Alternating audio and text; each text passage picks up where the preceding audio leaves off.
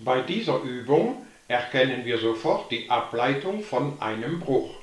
Also wenden wir die entsprechende Formel an, aber Vorsicht, f auf g', das ist nicht f' auf g', sondern f auf g', das ist f' mal g minus f mal g' geteilt durch g im Quadrat. Wir wenden diese Formel korrekt an.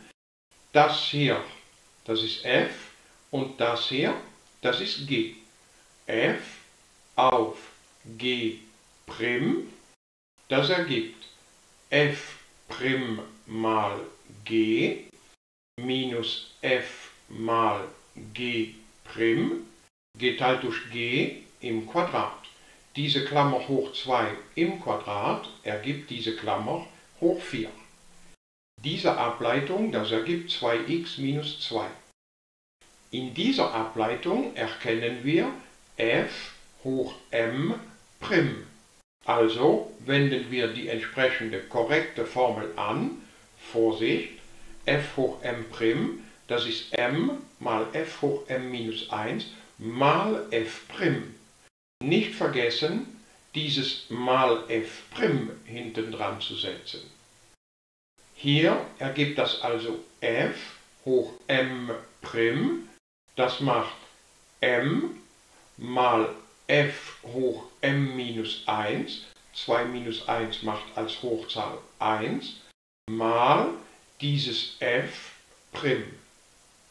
Diese Ableitung ergibt 1 und somit erhalten wir diese Rechnung.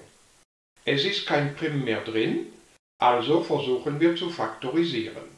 Aus dieser Klammer können wir eine 2 rausholen und diese 2, die dann da multipliziert, die multipliziert auch im zweiten Term, also können wir diese 2 insgesamt ausklammern.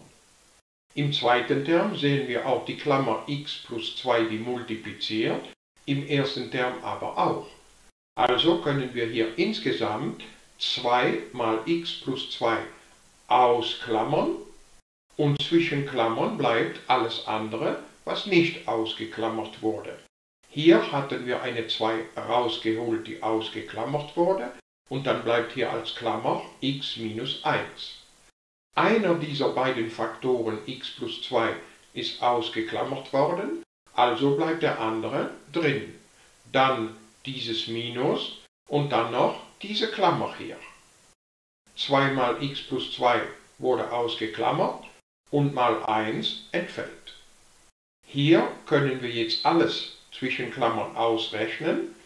x mal x, das ergibt x Quadrat.